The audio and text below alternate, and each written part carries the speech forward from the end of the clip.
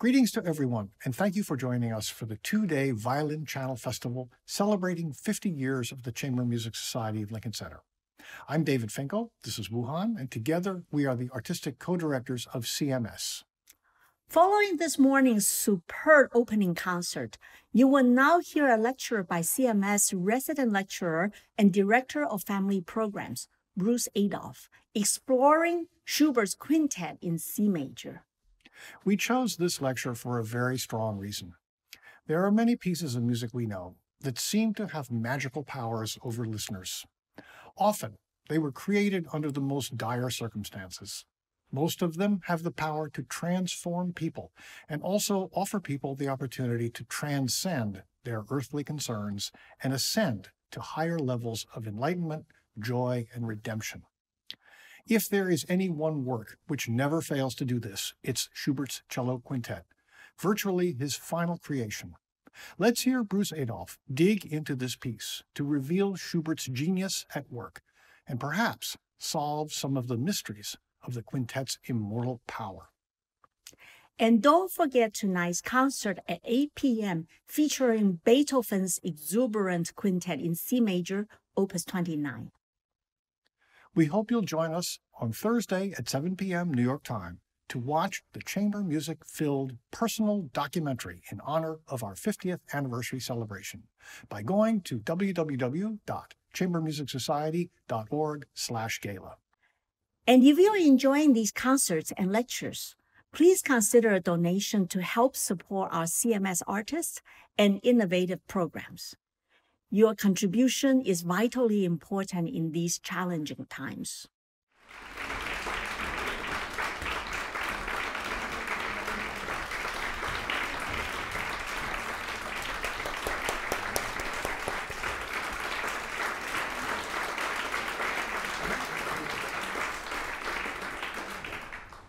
Good evening.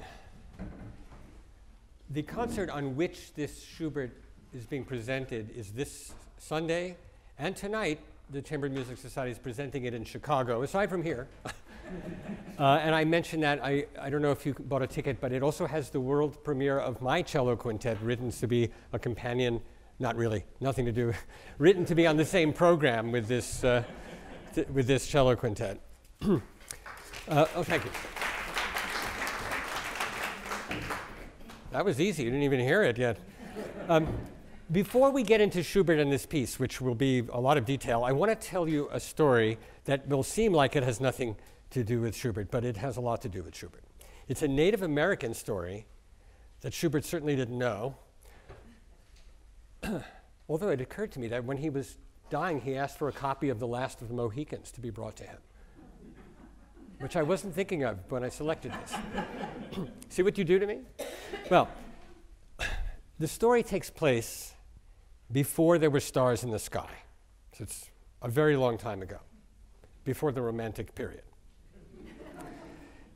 and at that moment in eternity, the great grandmother spirit gives a jar of stars to first man.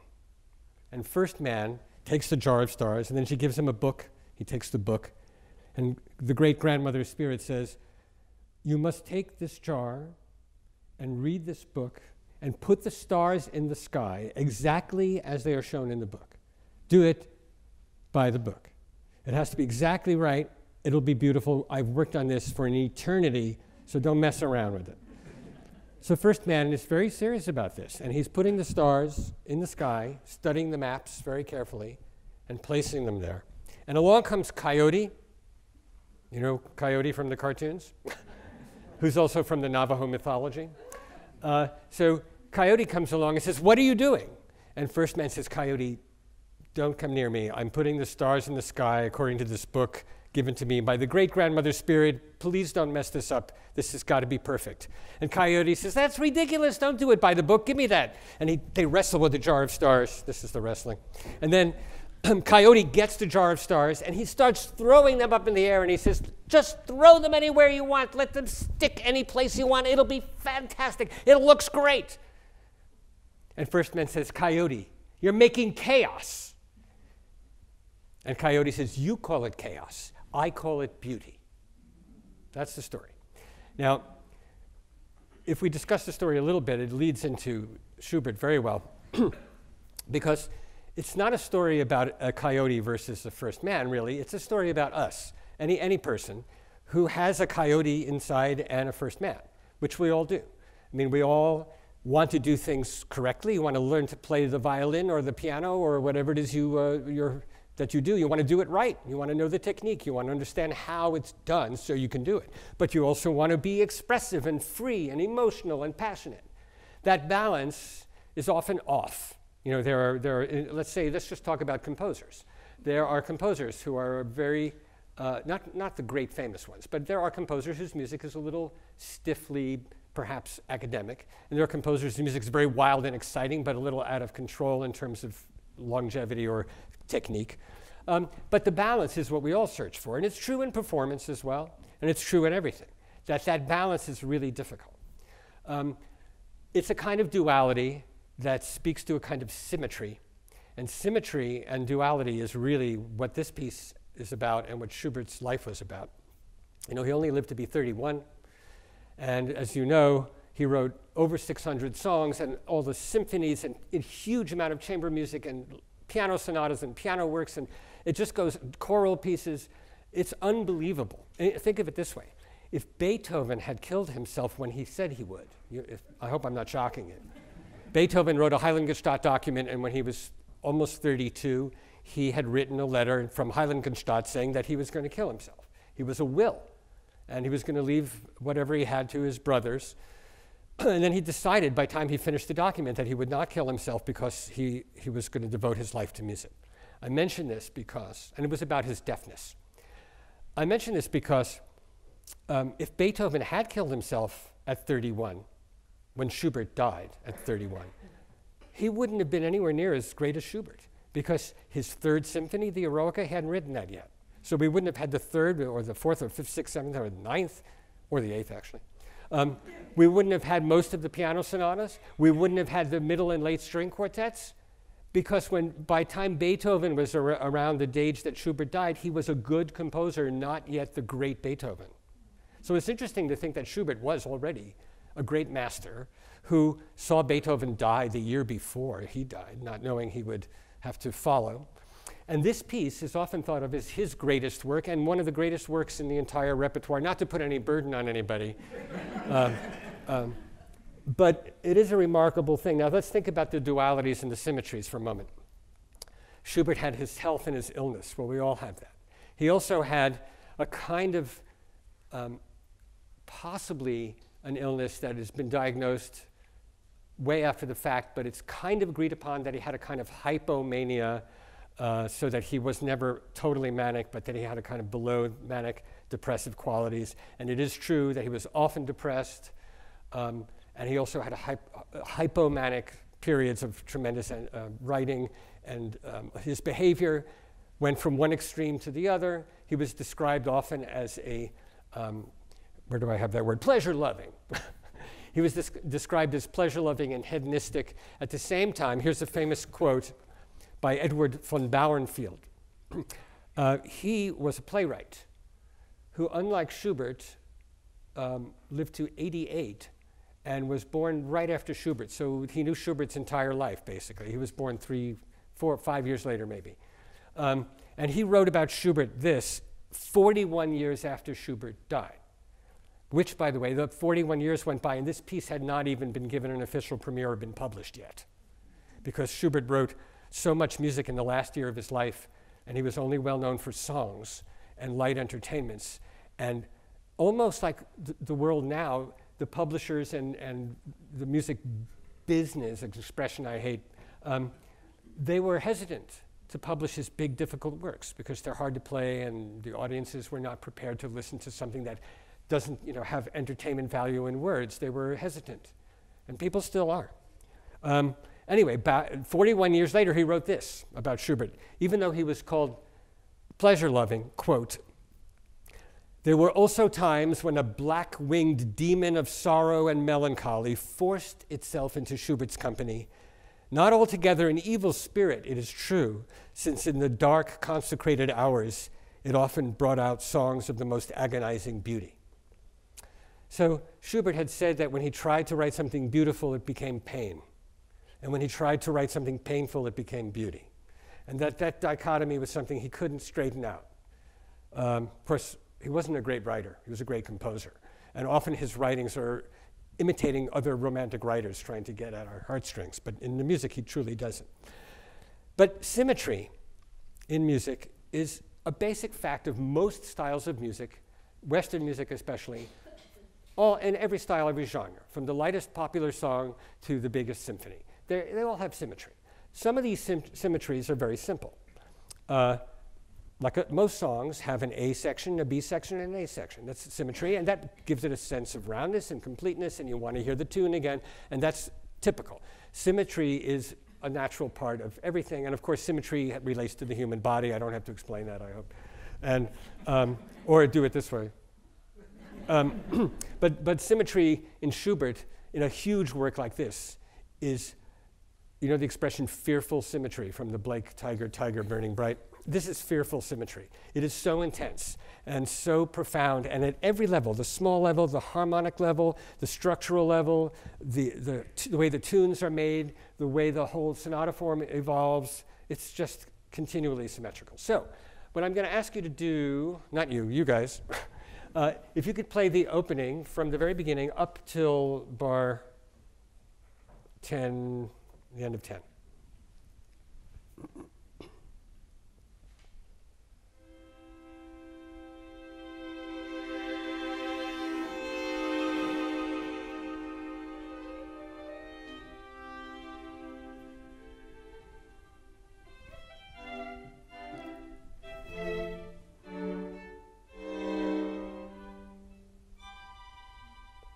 Okay, now that's an antecedent that's not complete. There's no, not a lot of symmetry yet because we need the answer to that. But before we get to the resolution of that, I want to talk about what it feels like and what it may mean because it's really powerful. There's no other piece. I could say that, I mean, since the piece is unique, there's nothing that happens in this piece that happens in any other piece. But what I mean is this opening gesture you have a C major chord, and then this intense diminished seventh chord, and it, it comes back. It, this is unique already because it starts with something very simple and basic and peaceful and tranquil, and it becomes something very intense immediately, which then disappears. This is a very romantic concept, which is Schubert is the, this is one of uh, uh, the essence of his technique and the way he thinks. And so there is already a little symmetry right there because you have the C major and the C major coming back with this intense diminished chord, which belongs to the key of C minor. So this diminished chord is already predicting that things are going to get difficult. You could think of that one chord as foreboding. It is definitely that. You can think of it as tranquil, foreboding, push it away, tranquil. And of course, he knew when he wrote this that he was probably going to die young. He wasn't sure, but he had many reasons to think so. Now, then the next phrase, can you just play after, um, after this, starting right here?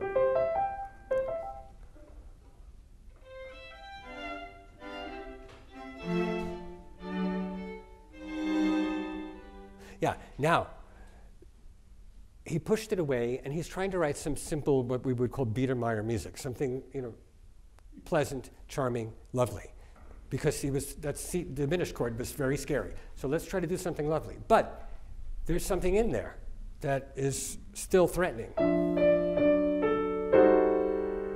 That chord, that's the same chord. That's that diminished chord. He's calmed it down. He's made it normal. Don't let it be normal. Okay? In other words, something terrifying is happening. He pushes it away, and then he uses it in a simple cadence, the way Mozart might have he's, normal, he's, he's making it sensible and normalizing it. So now before we play what Schubert actually wrote, I have to confess I want to do something a little strange, but I'm going to play a little bit of Mozart for you. If you know it, you can chime in. Um, it's, this is a piece, the C major string quintet of Mozart, which I have several reasons for playing. It's not with two cellos, it's with two violas. And the Mozart ha also has enormous complexity in terms of symmetrical balance, but the opening the very, very opening couple of phrases has a normal classical symmetry before Mozart takes it apart and does these bizarre things that I just want you to pay attention to for a moment. You want to try it? That's how it starts. Okay.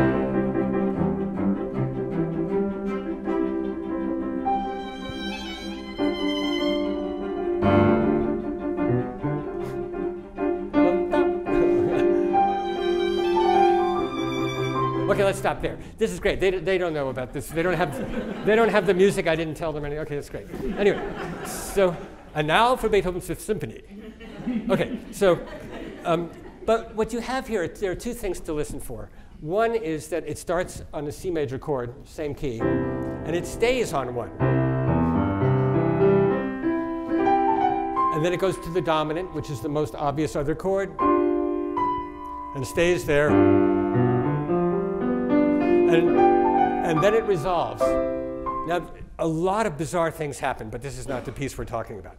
So that basic symmetry is if you go from one to the dominant, one to five, and if, if, if you're wondering what that means, one, five, these are the two basic chords. There are about 800,000 folk songs that only need those two chords. Um, anyway, uh, and that's all we have there so far, are those two chords, and it's pretty exciting music. Well, if Schubert were doing the standard symmetrical opening, then it would sound like this. I rewrote it so it, it has the harmonic, it's a conventionally harmonic. So they're going to play this same opening you heard, but with a, a response that is more conventional than what he actually did.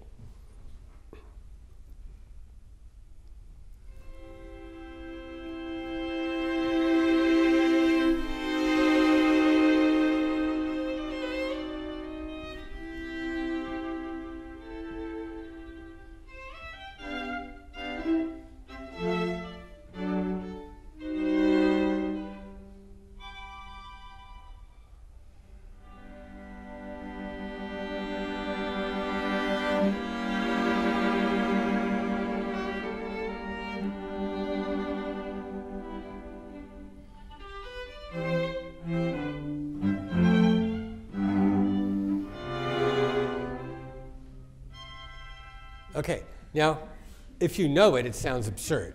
If you don't know it, it just sounds kind of okay. It's a little ordinary. But those are the basics. So because it's important to remember that in order to fully appreciate, I think, um, how extraordinary and bizarre something is, it's nice to remember how ordinary it might have been and what the conventions are.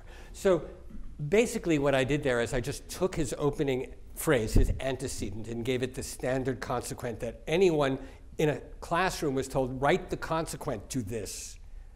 It had to be a music class, though. Write the consequent to this, and that's what you'd get. So instead, though, of, of doing and staying on the G major chord, Schubert does this. Let's hear the real thing with a full opening so we can follow it, the progress.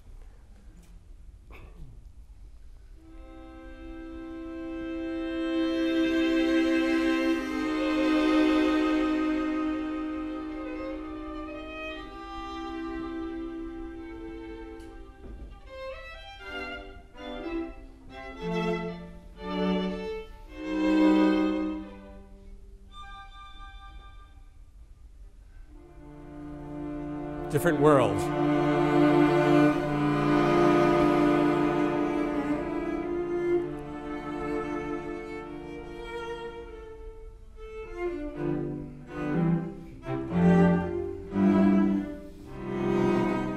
Great, thank you. Now, there are a few other symmetrical things. There's a lot already here of symmetrical, miraculous thinking. Um, First of all, what I was getting at was instead of going to the dominant, he goes to D minor and makes it feel like it's a new key. Sorry. Oh, and then the diminished chord. Now, another thing that's, I think, interesting for listening is that that first C major chord, there's an octave. You'll notice that one of the cellos doesn't play. He only needs four voices.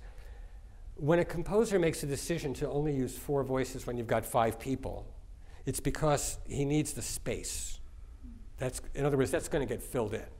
There's going to be a lot more, we're going to need all five voices, in other words. So if you leave something blank, if there's a rest in the beginning of a piece, if there's an instrument missing, you can bet it's going to get used soon uh, and more later, which we'll get back to. But the other thing is that the first violin and the first cello are playing an octave, and the chords happen within it.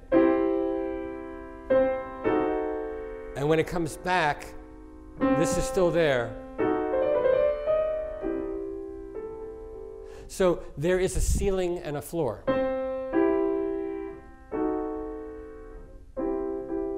Except at the end, we lose the top. And when it goes into the D minor thing, there's a cello octave. He puts it between um, the low cello and the, um, the two cellos have the D. And therefore, he puts the second violin in the viola, has to leave the first violin out because now he needs the top empty. Be first it was the bottom was missing because he needs to, and then it was the top. So he has to put the second violin in the viola inside lower than the first cello because he wants to have that octave. So there again.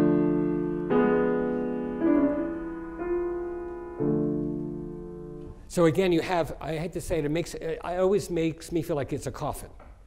Uh, that you've got inside this, you have the tonic, the dissonant chord, and the resolution. And the same thing in D minor that there's something holding. Like if he, if I rewrote this, which I'm not going to bother with this, and just made it expansive, a big C major chord, like you know, and then up here, you wouldn't have the sense of tension of being closed in because that octave is restraining the music, and that restraint is a boundary, and all of the symmetry and everything about this piece has to do, and this is also true of a lot of, of, of, wonderful classical music, is that there are boundaries set, and the composer is trying to transgress those boundaries all the time. And that balance is between emotion and passion, and the technique and the symmetry. It's, it's the coyote who is passionate and crazy and knows he's dying and uh, is hypomanic, but the, that the, the, coyote is wild. And the first man is the structure, it's the symmetry, it's the key relationships that are trying to hold this from falling apart. Okay, so, um, and it strains, you know. now, one more thing about this first chord, the C major, not the C major, the diminished chord. This chord is the most symmetrical chord there is. Um, and by that I mean, uh, its symmetry is its value. By symmetrical, let's look at a non-symmetrical chord like C major. Major third, minor third, okay, two thirds, but they're different kinds of thirds. So if I invert it, you can tell that I inverted it. With the diminished chord, especially diminished seventh, minor third, minor third, minor third, I can invert it and it might sound like it's a different key or something, but it's the same chord. And therefore, there are only three of them. And you can go to many different keys because when something's symmetrical, it can resolve, in this case, eight ways, no problem. It can resolve even more, but eight natural ways. So, for example, um, each, each note could lead to new, a new key.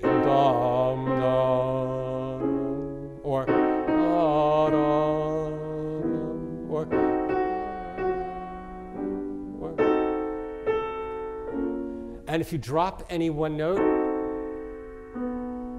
you're in a new key. Ah.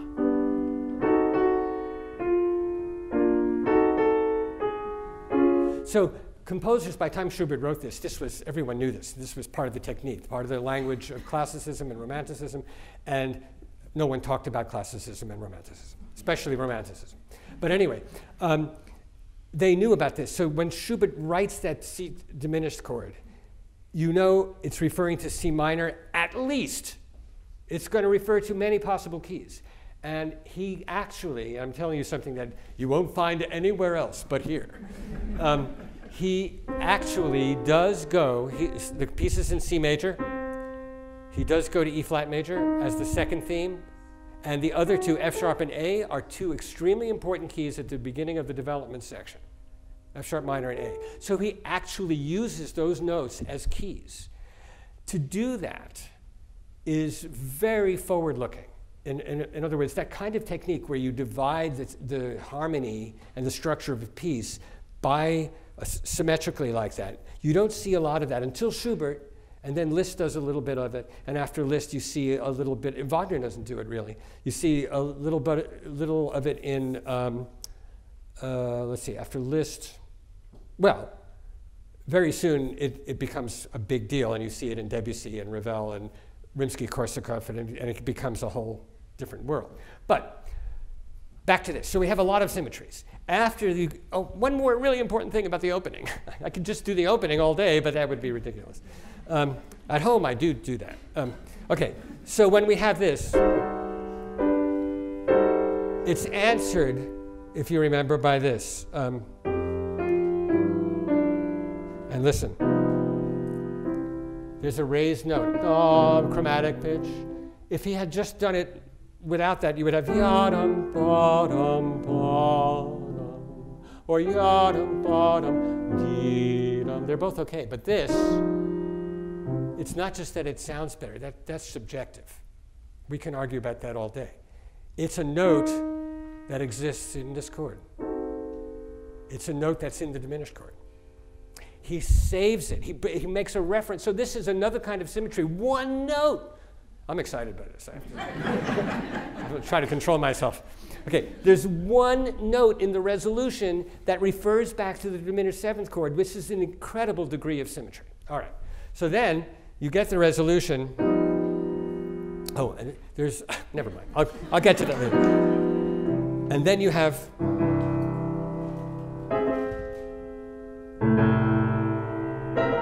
Now, you feel something changing and something staying the same. It's, I'll just show you on the piano and then we'll hear them play it. C major chord, augmented, minor, augmented sixth, and. All right, so these two notes, the, C, the two notes of C major, da, dum, bum, the two bottom ones don't move. And the, the one that could take us to a new key, sorry, does. Isn't that exciting? Okay, so um, can you play right, right from there, right from, and go on for a little bit?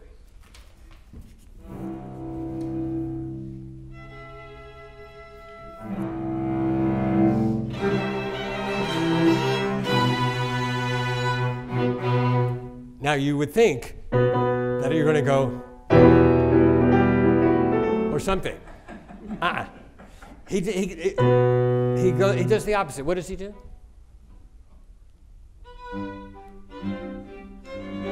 Yeah, he actually doesn't go to the key he's preparing. He goes to G major, which is the dominant. Now, what you're about to hear, we'll, we'll play a nice big section now. It, he moves towards the uh, C major again, and what you get is the same thing. This and also the D minor version, you get that, but this time it's not just held notes, it explodes in every conceivable way. So uh, you play from, uh, please, from right where you stopped on bar 25, the pickup in the 26, and I might say something while you're playing, but don't stop. Mm-hmm.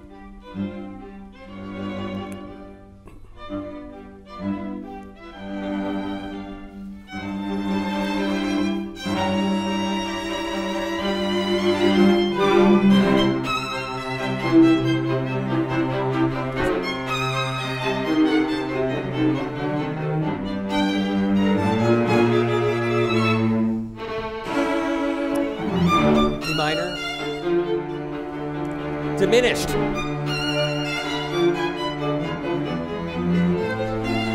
Okay, sorry.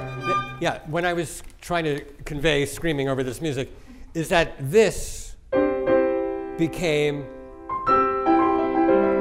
and this became, was a huge explosion, and this D minor also was huge. And the diminished chord and at the same time, as if you could hear the lowest notes, you had that same thing that happened here. It's a huge explosion. This is normally uh, referred to as a counter statement. That's a very boring academic concept, which is you make a statement and then you have a counter statement, which could be exactly the same or slightly changed. Well, this is more than slightly changed. This is a tranquility and a foreboding and tranquility normalization. Going into a slightly different key where it feels more forbidding and foreboding, and then trying to normalize it, getting back to the key, and doing the same progression explosively with all the instruments going wild. Now, the next thing we have to do, he is interested in sonata form. He's just making it gigantic. It's huge. Schumann called Schubert's late works uh, works of heavenly length. Um, and it is, the, they're gigantic pieces. I mean, Beethoven was the one who started this idea of taking the forms of music and making a, something that was five minutes into 20. Um, taking a movement of a symphony, I mean, a Haydn movement of a symphony might be six minutes, eight minutes. Uh, some of them are shorter. Uh, Beethoven symphony movements by time we're with the Eroica and after could be 15, 20 minutes long, um, especially if you play the repeats. And uh, with Schubert, one of, he felt that he had to do uh, continue Beethoven's legacy. You know, when, when Beethoven died, Schubert was one of the pallbearers. And somebody said, Who will follow Beethoven? You know, they're all in Vienna together. Who will follow Beethoven? There's no one like him. And Schubert was thinking, I'm going to do this.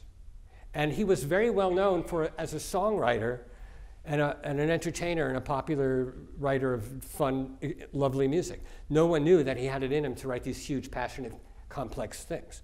Um, and in fact, when he died, very few people still knew. And most of the works that we think of as his greatest pieces, like this, were not premiered, uh, uh, played publicly until 40, 50 years after his death, not published until that long after his death. And, but many pieces were dribbling out after his death by publishers releasing things. And so people call all these, they, they said that Schubert was writing as a ghost, basically. They, he was the invisible Schubert, that he was still composing. And they, they finally realized who he truly was many years later. So now we, we get a big transition, and transitions um, are often the most dramatic parts of music. And then we get to the second theme. Now, by second theme, you might be saying, wait a minute, where was the first theme? there wasn't one. No first theme. Um, no appetizer. No, no, there was an appetizer. What you had was harmonic music, mood music. Uh, by mood, I don't mean the way we use that now. I mean music of emotion and harmony. There's no tune yet. You had almost, when you have something like this. I mean, this is, this is not Schubert writing a great song. It's just a phrase that is actually trying, as I said, to calm down the scariness of what just happened. So we are wanting a tune. And could Schubert write a tune? Of course. Schubert wrote 600 songs and, and many beautiful melodies, so of course we're waiting for this tune. Now the tune should be in G major. Um, let's see what happens. Why don't you start the transition section at bar 49, and I'm going to stop you after the two cellos play a G. Don't go on, on after the G, okay? All right.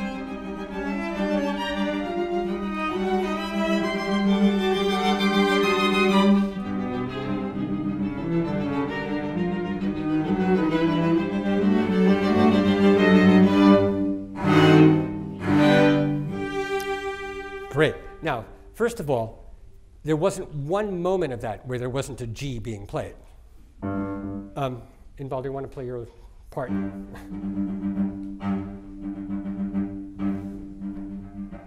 Did you have to practice that a lot? Or? yes, okay. Uh, anyway, no, but the G stays there the entire time. And then when the two cellos do that, just do the G again. It's such a, an amazing sound. Yeah, and what's strange about it is we've been hearing all these G's, and yet somehow we're supposed to go to the key of G. Do you think that's going to happen? yeah, he gets to the G, and he goes.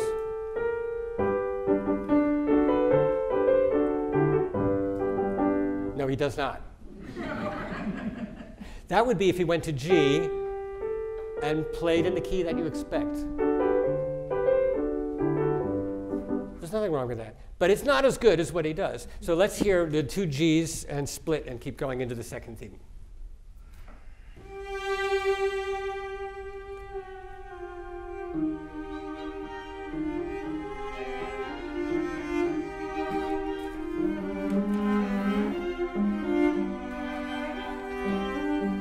Okay, great. Now, uh, by the way, if you hear two cellos playing a duet in this piece and in a lot of Schubert's chamber music, and you're looking at the groups, you can expect the violins to do it, and you can expect the viola and the first cello to do it because they all pair up because everything has to happen. Uh, that's another kind of symmetry. Um, you've got all the different pairs, and you've got the keys will balance, and the voices will shift. So what, where the tune was down here and the accompaniment was here, that will shift. And then it will be in the middle, and that will go. So it, everything happens, and those are all aspects of symmetry. This tune, uh, it's often written about it like it's the greatest tune he ever wrote. It's absurd to say that. Um, it is, the reason this tune just melts your heart is because of the music before it and the key that it arrives. It's a very simple melody, but that's all it needs to be to tear your heart out because you have been threatened with death. and then you get a tune. Um, so remember, if you can, uh, can't write a great tune, write an introduction that's terrifying. so basically, this tune, though, got the attention of George Gershwin. And we know from a letter that Gershwin was obsessed with this tune. He loved this piece. Now, you probably know um, that Gershwin wanted to be a classical composer, and he's, he died at 39. He had eight more years than Schubert. Wrote a lot less music, but he, you know, he did a good job. Um, and he's often called the, the Schubert of that time, American Schubert, but he didn't think so. He called the American Schubert um, Irving Berlin. And Irving Berlin, who lived a lot longer, wrote 1,500 songs over about 60 years of writing. Schubert wrote 600 songs in about, I mean, over a period of less than 20 years. Um, and Gershwin uh, also a similar kind of thing with the 500 songs. Anyway, but this is a, a song by Gershwin. I'm just going to do a little bit of it called, it's called Union Square.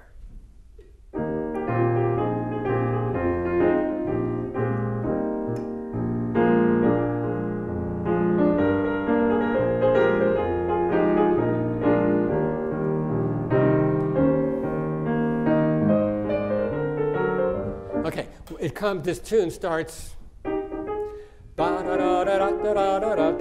If you take out the dotted rhythm, it's, it's the Schubert. And it's in the same key.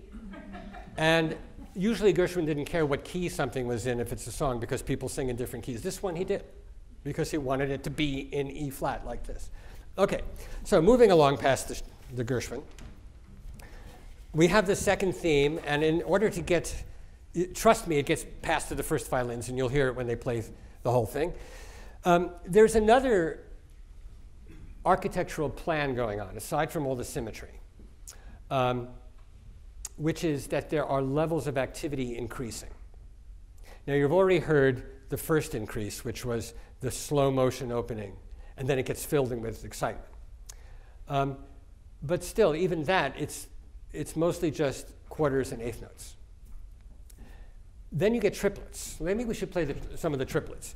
Uh, when the violins get the tune, um, the violas have the great idea of using triplets to keep their part alive. Um, so let's start right where the two violins play the G. You have that spot? And okay, okay.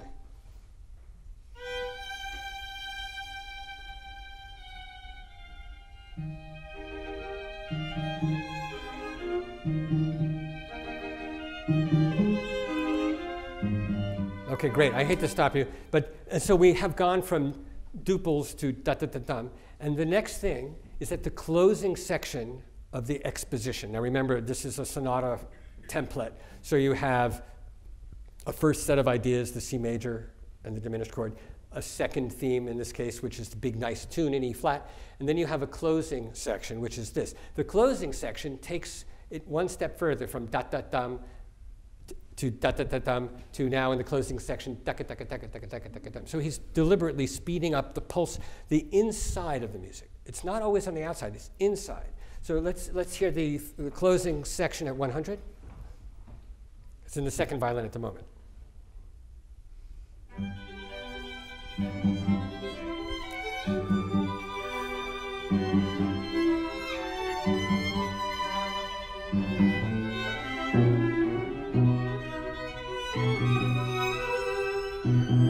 Okay, Yeah, so it's not even the tune. The tune is still in slow motion in a way, and the, the inside voice is doing this, this faster pulse. This is also, uh, you know, Schubert was a great songwriter because his uh, accompaniments were as interesting as his tunes, because he took a, an idea usually from the text and turned it into something you could feel in the music. So you can't just take a Schubert song and use the tune and play the chords and improvise. You'll lose the song the song has to have that accompaniment because that accompaniment is some kind of, of special poetic version of what the song is about. This is like those kinds of accompaniments which we've felt grow from duples to triples and now to this pul inside pulsating. Um, there's another theme which has several closing themes. So let's hear the next closing theme, which is this one at bar starting at 138. We're skipping a few things because I want to get to more of the piece.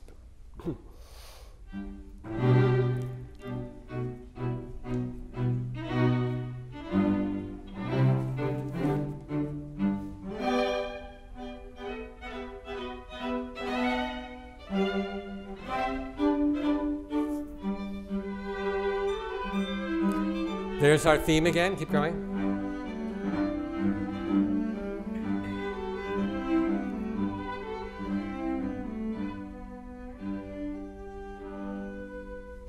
Here comes a huge chord. Now, that chord has one note that's causing trouble because it's a G major chord, and we have that F makes it a dominant seventh. It's not an unusual chord. It is unusually voiced because it's hidden inside the middle of the cello, and it's only one person doing it, so it's kind of strange. But that note stays there. He doesn't hold it. I'm holding it. And then you hear this chord. What, can you play the next, just the next chord? Uh, no, the one, uh, sorry, yeah, do that chord and then play the next chord, sorry.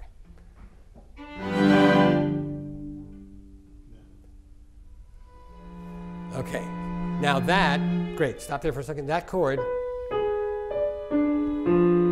that's a diminished chord again. It's a diminished seventh chord that can go anywhere, and we don't know where it's going to go. If I drop this note it would be stupid because I'd be back in C major where I started. And I say, oh, now what do I do? But uh, if I do this, if I drop the top, I would go to F sharp minor, which he doesn't do yet.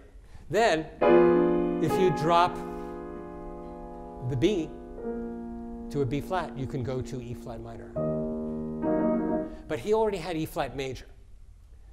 But he has several reasons for doing what he does. He drops the F in the cello, da, and you have a dominant seventh of A major. A major, why is it there? It's there because of, as I mentioned, he's using that diminished chord to predict. We called it foreboding. Well, he was right. Each of those things is going to come get him. They're going to kill him. Okay, I might have taken that too far. Okay, I was thinking about, you know, that's going to be the excerpt that goes viral. and then I'm in big trouble. Okay. All right, so let's hear that, uh, and then well, and then you can go a little further because it takes us then to we get to F sharp minor, which is the other note of the chord. C, we had the tune in E flat, a was just happening, and then it goes to F sharp minor, which is the next big key. So if you start right on the diminished chord at 155, and I'll stop you about 10 bars later.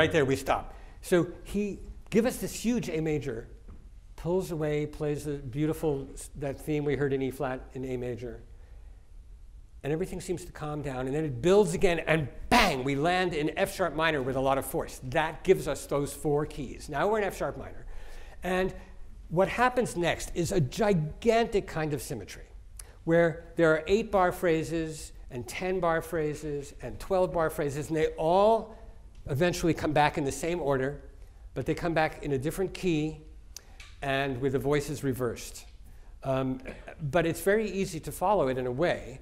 Um, it, it, has a richness and a complexity because everything is shifting. All the voices shift, the keys shift. The order of the keys is interesting. He starts in F sharp minor, and it goes up to C sharp minor, and then major. And then the next thing that happens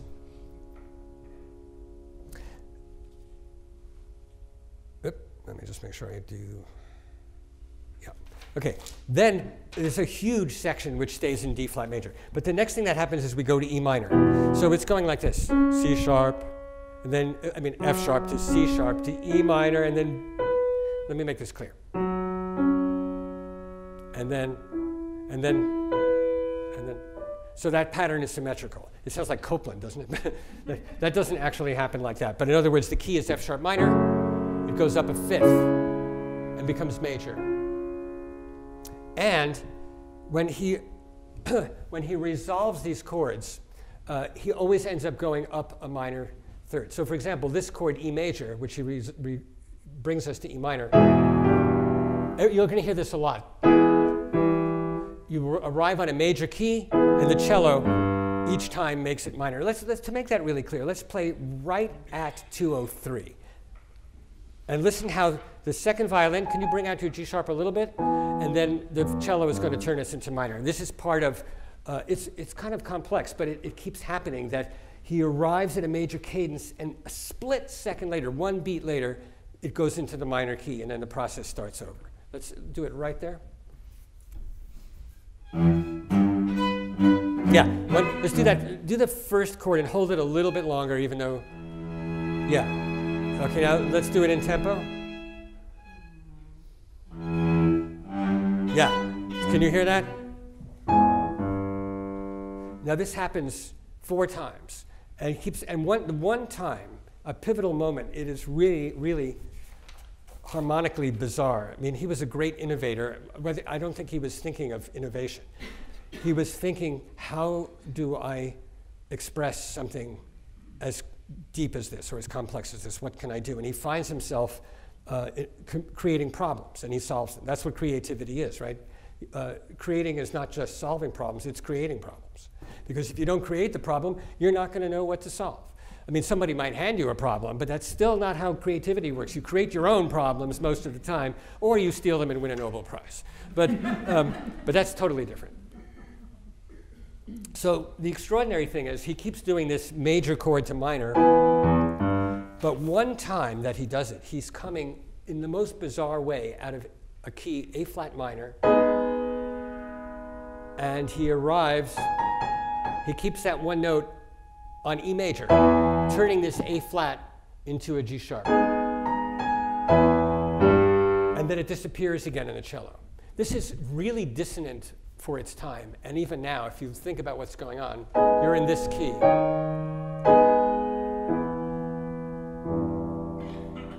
it's, it's incredible. It's kind of like Strauss um, if you slow it down and listen to these chord progressions. So he's in a very unusual key for this the C major, which is A flat minor.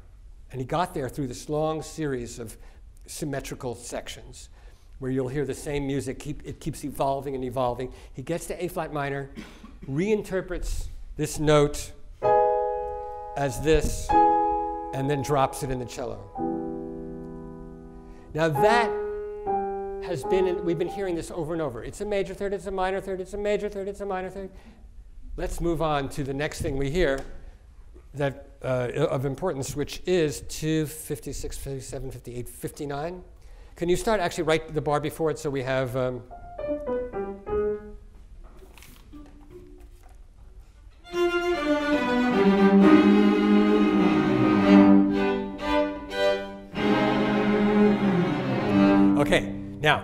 we've been hearing, as I said, this. Now he spells it out with the entire harmony, and it's become the point of the music. So it's been in there insidiously. It grows and it becomes the harmony. We've already had an inkling of this earlier because it is symmetrical. So we, we heard something like it before. Um, this chord is one note different from that diminished chord. That's the diminished chord. He lowers this one note, and it sounds like a dominant, but it's, it's not. Don't worry. It's a German augmented sixth. Don't worry about that. Okay.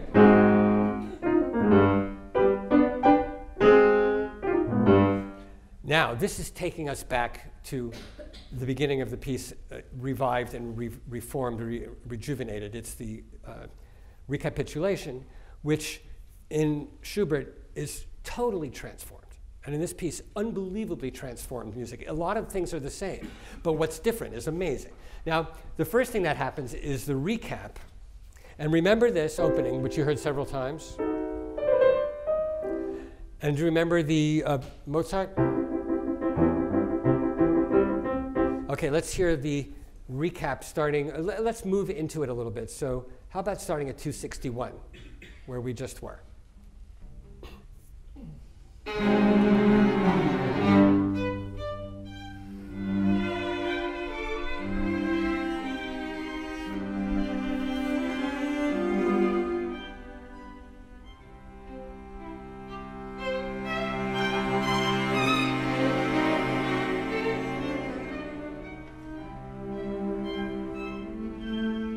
Okay, you get the idea? The music is the same, but for the Mozart reference. And then of, of that thing. And don't think he didn't make that was deliberate. He made references quite a lot to Mozart and, and Beethoven, mostly Beethoven. Um, but you know, uh, it's a tribute and it's beautifully done. And he also makes a reference in the coda. Let's go to the coda. Now, what is a coda anyway? in a piece this big?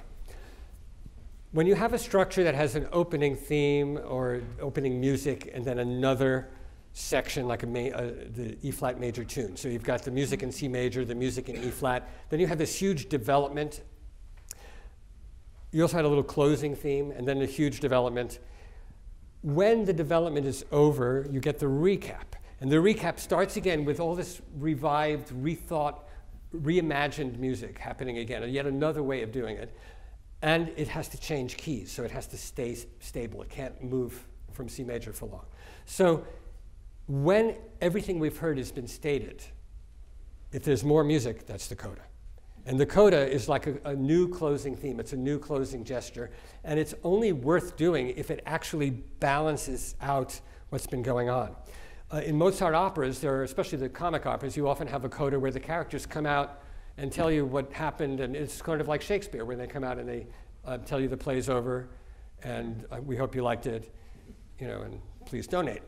so the coda has the same, but we went from a pure version of it, and then immediately afterward, an explosive version of it, and then at the beginning of the recap, a version that refers to Mozart, and now at the ending, we have this, which is really unusual.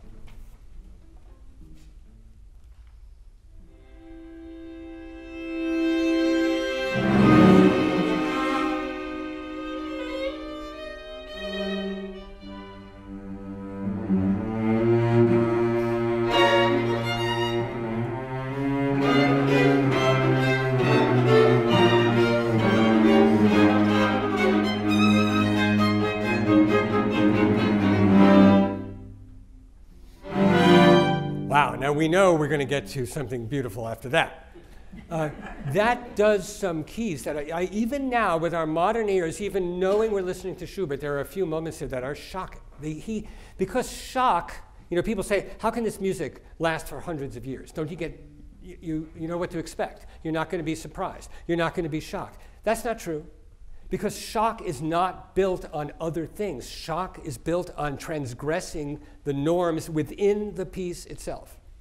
So uh, it's like a great piece of literature.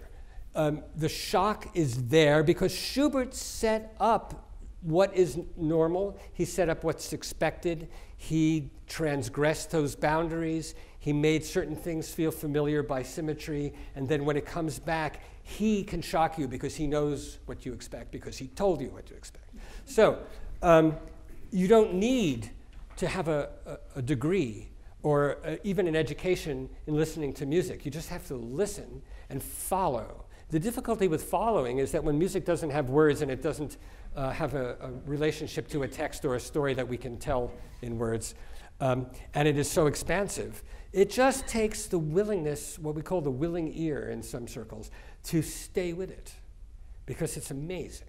But it is different than hearing a play because it's, it's basically all abstract. It's like if you could put on a play with all the emotions and none of the words. What would that be? This. Okay. so, so basically, he makes a reference to Beethoven, Opus 95, uh, a piece that a lot of people think he didn't know, but I think he did because of this. Um, there's no reason for him not to know it. People are always talking about how well did Schubert and Beethoven know each other. No one knows for sure. Some, there are some articles, and I mean, in letters at the time that imply they knew each other rather well. Some say that that was made up and it's not true. They look, they were both living in Vienna, they, which was tiny. It was smaller than Columbia University at the time. Uh, they, they both were composers. They had some of the same publishers. They had the same musicians playing their music. Okay? All right. So, uh, anyway, so he does this. There's our C major chord again. And we get this huge thing in the first cello. And in the second cello, that, you guys know what I'm talking about in Opus 95? You don't want to play Opus 95 No. yeah, at the beginning of Opus 95, which is the F minor string quartet called Serioso. It's called the Serioso Quartet, a word made up by Beethoven because his Italian was terrible. Anyway, um, in that piece, you actually have that exact chord and the cello going. It's not note for note, but it's the exact gesture and the exact harmony. So he's made a reference to Mozart's viola quintet in C major. Now he's making a reference to the F, F minor Serioso quartet. And then, after that, instead of we, it stays dissonant and has an overlap. And we don't know what, what chord is that. Is it this? That's diminished. Is it? We don't know, but and he gives us this. That is completely unexpected because it's the most obvious, you know, it, is, it makes B flat, which is the note. It takes it as the tonic of that chord, as the root of that chord. B flat becomes B flat minor, but we have not been anywhere near that key. We don't expect it. And it's an incredible shock that he's set up there um, by doing the thing that's right in front of your face that he sets up but you just still can't, you can't get used to it. Then he has something which is a perfect example of the balance of uh, Coyote and First Man, which is he does a very famous old conventional chord progression that goes back to the early Baroque period with one change and in a dramatic manner. The chord progression is called the circle of fifths, which would be. He does this, all right? Uh, he actually starts here. And then he goes, but he, first of all, puts in the bass line a chromatic line. So your attention is drawn to this.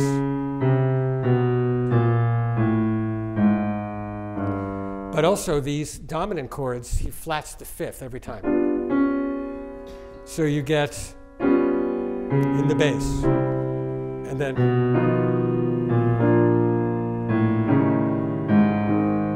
And then this chord, the biggest dramatic moment of the end of the piece, is the same chord as this. He gives it to you again, but in the rhythm of the, early, earliest phrase when it exploded. So you get that chord again in the rhythm from the opening. Except, sorry. And then the tune, we're in C major. And the tune is slightly changed because who wouldn't be? I mean, look what you just went through. You've had diminished chords for lunch. You've, you've, you've had all kinds of surprises you couldn't possibly expect. Everything went the wrong way. You're way delayed. And you finally get to C major. I don't think you're going to sing it the same way. You can't even remember it anymore. so then you get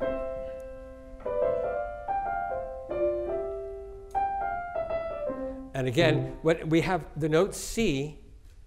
Again, Inbal, you have a lot of uh, the note C. You want to play your part at the end for us?